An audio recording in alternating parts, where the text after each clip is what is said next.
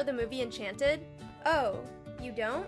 Yeah, this movie right here. Let me tell you why this movie is super underrated.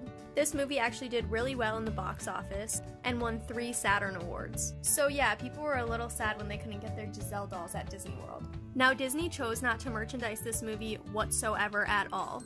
And I read some articles about how this is because they believed that Giselle wouldn't sell as well as other princesses, which I just went over how successful the movie was, so obviously that's false information. So I kept digging, right? The reason our girl doesn't get to get merchandised by Disney is because Disney would have to pay Amy Adams to use her for merchandising and any character lookalikes. So basically, they didn't want to pay her, so this movie gets forgotten sometimes. Guys, I realized that science actually just proved that the Bible was real without even knowing it. So as you guys know, scientists just proved that every race has Neanderthal blood except for black people because they are the original pure humans. So as you guys know, the Big Bang Theory is already out the window. That is way too far-fetched. Now let me tell you where Neanderthals came from. Neanderthals came from Nephilims. Nephilims came from giants.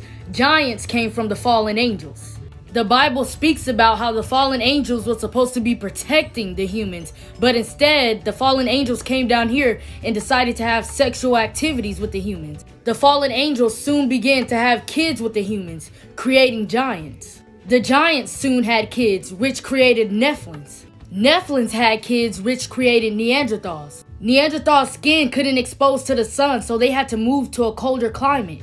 Their skin became lighter and created the white race. People often ask me how I can be a Christian mother and support the LGBTQ plus community. Two reasons. Number one, it's my calling from God. Number two, it's because I read my Bible. And so today, we are going to talk about the clobber passages used against the gay community by Christians. The number one on our list is Genesis 19, Sodom and Gomorrah. So everybody wants to talk about that there was going to be a gang rape of men, and that's what the problem was. Okay, so let's just switch men to women.